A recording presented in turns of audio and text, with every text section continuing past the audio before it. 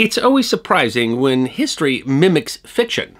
There have been literally hundreds of science fiction novels and movies about alien invaders attacking the Earth, but one winter day in Boston, the city literally found itself under attack by little men from the moon. And the city had to deploy all its considerable resources to beat back the attack, while local and national news reported breathlessly on the battle. It is history so bizarre that it simply deserves to be remembered. Boston was in the midst of rush hour, approximately 8 in the morning on Wednesday, January 31st, 2007, when a worker from the Massachusetts Bay Transportation Authority noticed a suspicious object attached to a stanchion supporting a raised section of ramp onto Interstate 93 and a subway and bus station near Sullivan Square in Charlestown, a neighborhood north of the Charles River across from downtown Boston. The U.S. was a changed nation after the terrorist attacks of September 11, 2001, and that was particularly true in Boston. The two airplanes that had taken down the Twin Towers had taken off from Boston's Logan International Airport. Cities across the country were on high alert, and this, this object, or rather device, a rectangle approximately one by one and a half feet, clearly didn't belong there. It had a circuit board, it had wires coming out of the side, and ominously, it had D-cell batteries taped along the side. The MBTA worker didn't know what it was, but a device of unknown purpose attached to a stanchion supporting a major highway raised an obvious concern. Unsure whether the device represented a threat, the MBTA shut down part of the Boston subway's Orange Line, beginning of a difficult day for Boston commuters. According to the MBTA website, more than 200,000 people take the Orange Line each day. A timeline in the Boston Globe said that by 8:15 Massachusetts State Police arrived, and by 9 bomb squads from both the state police and the Boston Police Department were on scene. The Globe referred to responding authorities as an army of emergency vehicles. Unsure as to the nature of the device, at 9:30 police decided to shut down a section of Interstate 93 and adjacent roadways. I-93 is one of three primary interstate highways connecting Massachusetts, New Hampshire, and Vermont, an important route for Boston commuter traffic. 2021 survey by the website boston.com found that fully half of the website's readers who commute said they used I 93 every day. Already, the police response was making the news, and news helicopters circled the bridge. The WCVB News 5, an ABC affiliate, first broke into regular programming with a special report at 9 a.m. Reports continued on local and national outlets all day. The bomb squad decided that the best course of action was to blow the device up. They destroyed it using a water cannon, a type of device that uses a shaped charge and a water projectile to blow a device to pieces and sever any detonator connections. The highway was finally reopened around 10:15, having been closed down for 45 minutes during peak rush hour. But the problems were just beginning. Just as events with the first device were winding down, the Globe writes, in quick sequence, just after noon, reports of similarly suspicious devices flooded police lines, sending anti-terrorism forces to over a dozen locations in Boston, Cambridge, and Somerville. The Winchester Star wrote that police said four calls, all around 1 p.m., reported devices at the Boston University Bridge and the Longfellow Bridge, both of which span the Charles River, at a Boston street corner, and at the Tufts New England Medical Center. By now, the events were making national news and terrifying many Bostonians. The Globe reported that people reached for cell phones to call loved ones, while others glanced at maps to check the proximity of the devices being investigated by police to their homes and offices. The Globe quoted 26 year old Bostonian Adam Bastian What's going on here? No one seemed to know what was happening. 40 year old Donna Manka told the paper, It's scary. I had friends calling me up, telling me not to come in. While 68 year old John Reedy said that it really affected him psychologically when he saw the vans go by with darkened windows and the words Bomb Squad across the back. Meanwhile, more traffic was being snarled. The Winchester Star noted that subway service was shut down across Longfellow Bridge between Boston and Cambridge and along Storrow Drive. At one point, the city had the U.S. Coast Guard shut down river traffic along a section of the Charles River. Bill Fine, the general manager at WCVB TV, said there was nothing that said that this was not a diversion or a prelude to something bigger. Cars were not running on Storrow Drive. Trains were not running. This paralyzed the city for a whole day. Between 2 and 3 p.m., police with bomb sniffing dogs were sent to inspect City Hall. NBC News reported cable news viewers in this country were treated to hours of live coverage this afternoon as suspicious packages were discovered all over Boston. Roads were closed, the Charles River was closed, and questions were asked about terrorism. But by then, the story was already changing. According to the Boston Globe, the, the first hint came when one of the objects was taken into the dark and something became obvious which couldn't be seen in the bright sunlight. The objects included a series of LED lights that were showing a picture of some sort of character. Somewhere between 2 and 3 p.m., a Boston police analyst finally realized what he was looking at and astoundingly realized that the culprits came from the moon. The displays on the devices represented Mooninites, which the online Urban Dictionary explains come from the inner core of the moon, proclaimed to have 5,000 dimensions. And the Mooninite on the suspicious device was making a rude hand gesture, leading to the question enunciated colorfully by Fox News anchor Shepard Smith. What is this little Lite-Brite looking character thing seen flipping the bird at all eyes which fall upon it? The answer comes from a very strange television show. Cartoon Network was created as part of the Turner Broadcasting System in 1992, at the time airing reruns of classic cartoons to which the Turner Entertainment Company had acquired rights, although the network would move on to include original programming targeting children from preschool to age 14. In 2001, the network added Adult Swim, airing 9 p.m. to 6 a.m. Eastern Time, which featured original programming targeted at teenagers and young adults, as the network's regular audience would presumably be sleeping during those hours. The shows were, to put it mildly, edgy and were aired with a disclaimer. Parents strongly cautioned the following programs are intended for mature audiences over the age of 18. These programs may contain some material that many parents would not find suitable for children. It may include intense violence, sexual situations, coarse language, and suggestive dialogue. Nowhere would that be more true than one of the network's longest running shows.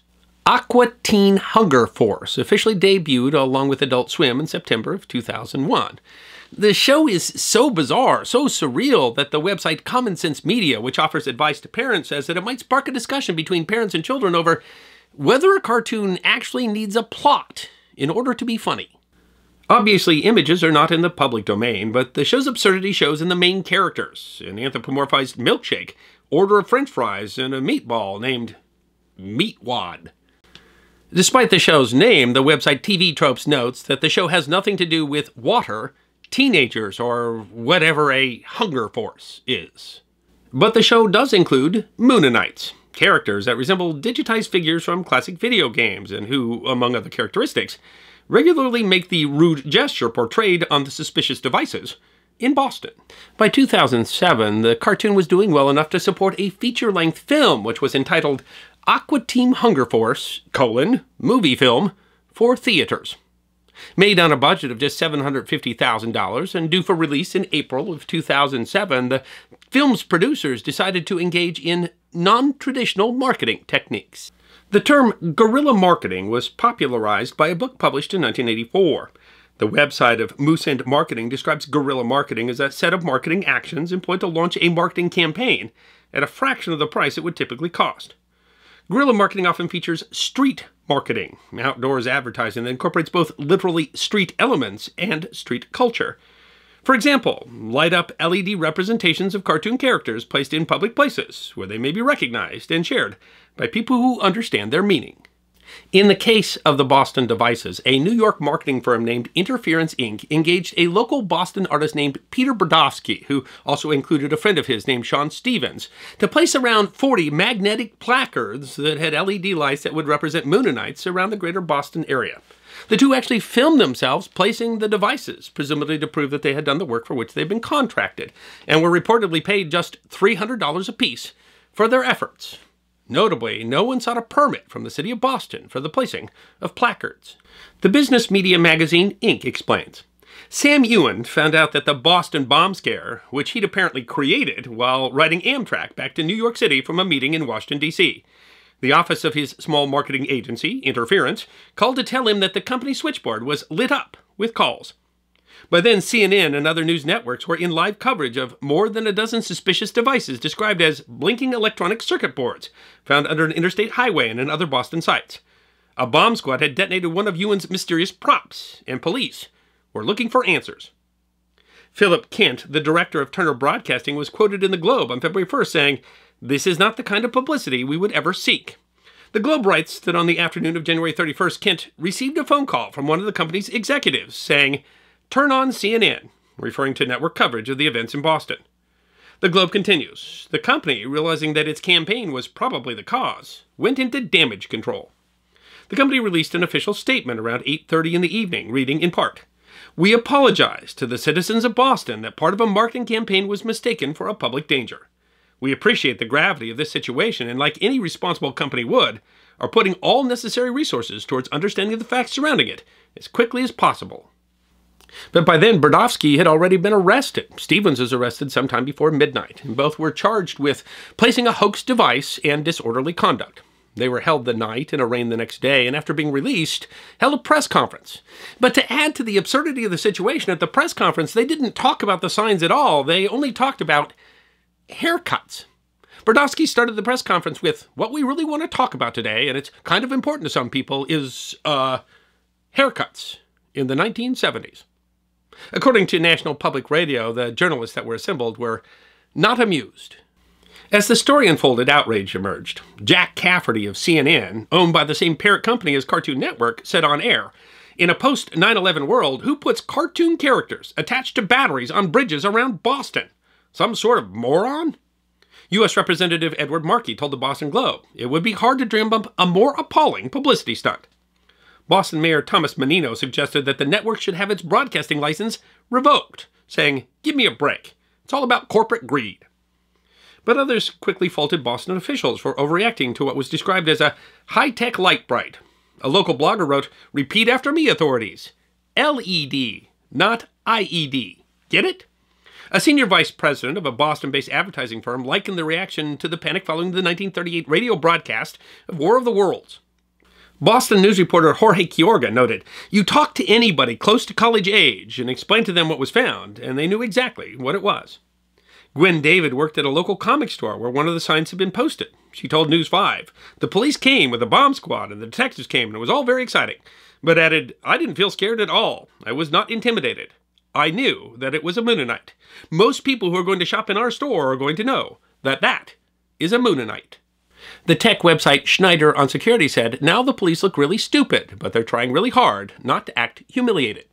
When Massachusetts Attorney General Martha Coakley said the things looked really sinister, had a battery behind it and wires, Schneier responded, For heaven's sake, don't let her inside our radio shack. In fact, it was later determined that some of the signs had been up for as much as two weeks. It had been noticed by several Boston residents without alarm. A Boston radio personality quipped, I don't think the terrorism officials in Boston are very observant.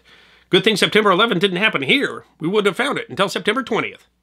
The signs had also been placed in 10 other major cities, including New York, Chicago, and Seattle.